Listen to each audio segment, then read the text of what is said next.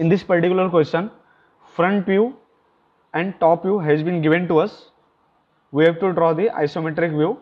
That means again we have to use normal scale or true scale and we have to draw isometric view.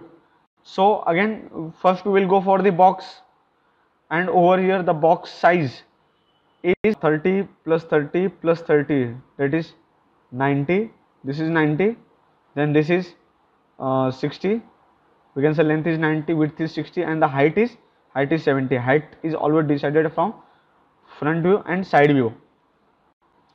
So we will make the box of 90 by 60 by 70 so first we will draw a horizontal line.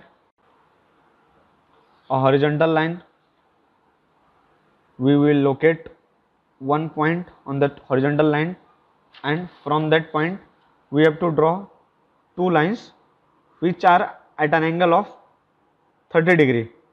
Like this. From both the direction.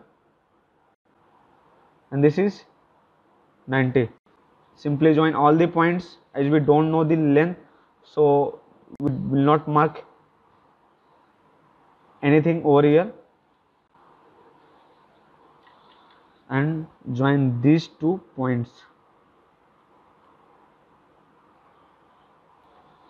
Now we have to take 60 millimeter on this particular line.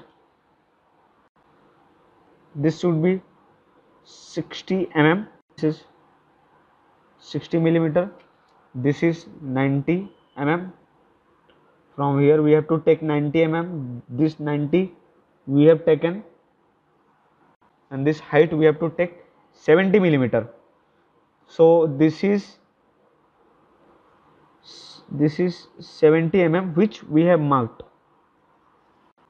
Draw the vertical line passing through all the points from this point and from that point also which we have marked over here.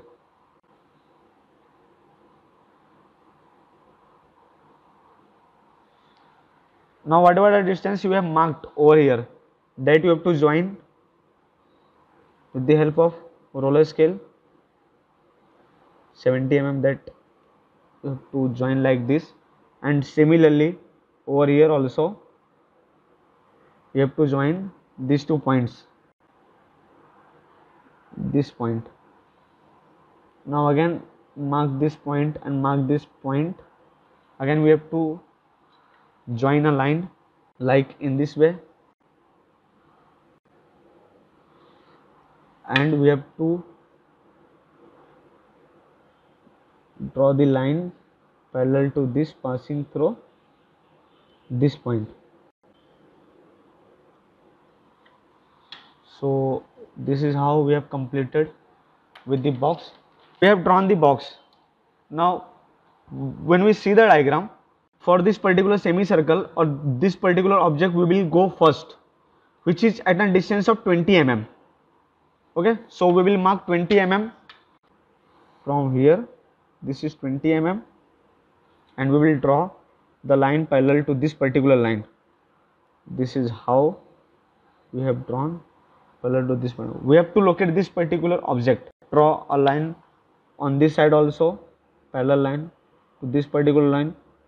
The 20 mm which we have marked through that particular point.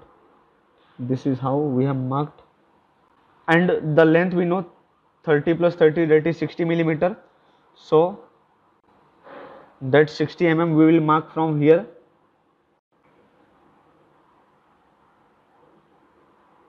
We have marked the 60 mm we are we are also marking 30 mm because which is that is required. When we will go ahead that will be required. We have to draw the line parallel to this passing through this particular point and join these points.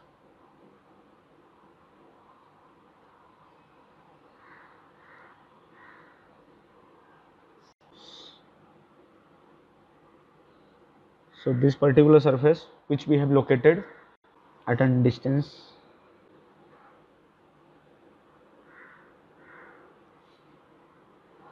and this 30 mm midpoint is also required. So mark 30 mm and draw the parallel line through that 30 millimeter. So this 30 mm is again required. Now we will go for this particular circle from the smaller one smaller diagonal one we will draw these points. We will join these points for the center point of the circle. So wherever it intersects that gives the center point. So we require only one center over here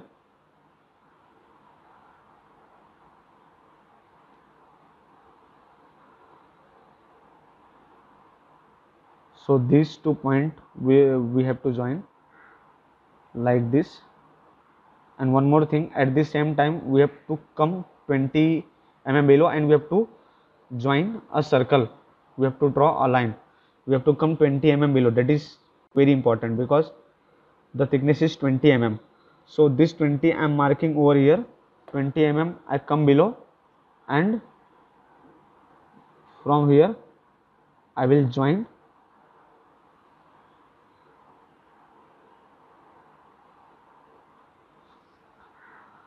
this particular arc again I have to come 20 mm below so directly I will mark. This is that point. From this 20 mm I have to come below so in advance I will mark that 20 millimeter. This is that 20 mm okay now take this as a radius and complete this particular object.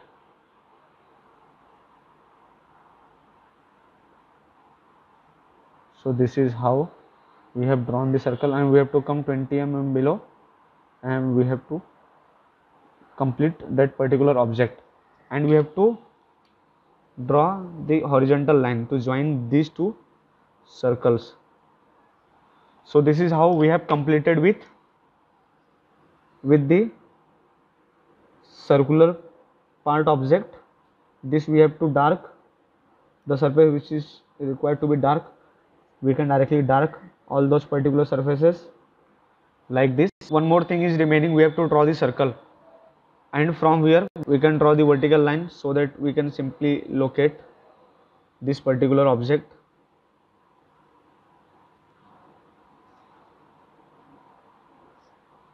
Okay this particular distance is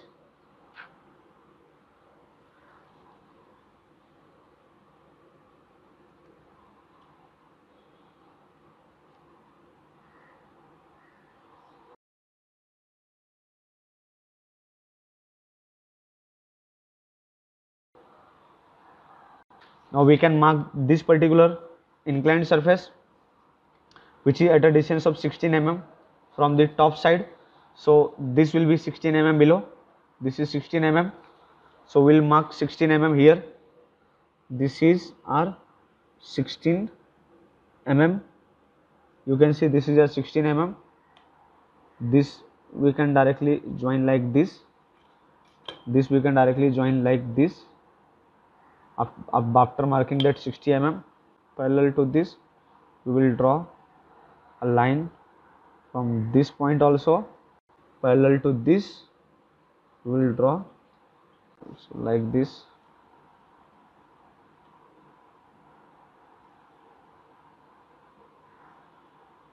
And this particular part is remaining remaining to be this particular part is remaining. This will draw at the end. First we will go for this inner circle.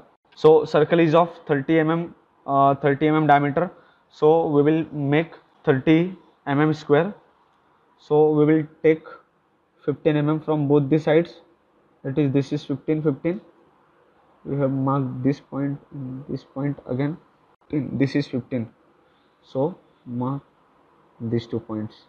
We will draw the line passing through the points wherever they will intersect that will give the square like this. Now parallel to this we have to draw the line. This is that particular. This is that particular. So mark the point of this square. This square we got. Now we have to join this particular point with these two points for locating the center and similarly we have to join these two points for locating the center. Okay we have choose the smaller diagonal not the bigger diagonal. So we got this line and this line is intersecting over here. So this is one of the center and this line this line is intersecting over here. So this is another center and these two center are already available. So we will directly go for these particular circles. You can see like that we have drawn the circle. This is the radius.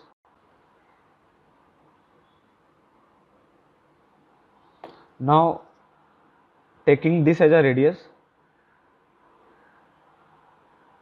you can see how joining the points and I have to join these two points also. For completing this circle I have to come 20 mm below. From this particular point and I have to from the center from that particular center from this particular center I have to come 20 mm below. So this is I come 20 mm below and I have to join because I am saying from the top side. So this surface will be visible to me. So this is how we have completed with this rectangular part. We have this completed with rectangular part this circular part. Now this particular part is remaining. This is now you can see over here how we are going to complete this particular part. As the distance has been given as 40 and 20 and 20 total is 60 so this remaining will also be 20 and 20 uh, so we will mark a midpoint as 30 and from that 30 we will be taking 10 10 millimeter. So this we have marked 10 mm and we have marked 10 mm. Now we have to join the line parallel to this particular line as which we have already have.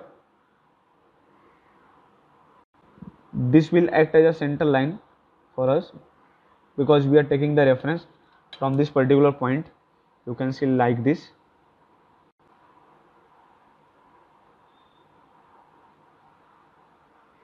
This is 15 mm at a distance of 15 mm we will mark a point and we will draw the line passing through that 15 mm line. And from that line we will be taking 20 and 20 mm from both the sides. From both the sides we will be taking 20 20 mm so this is how we have taken 20 and 20 that is 40 this is one point this is another point. Join both the points and simply join these points for completing the diagram.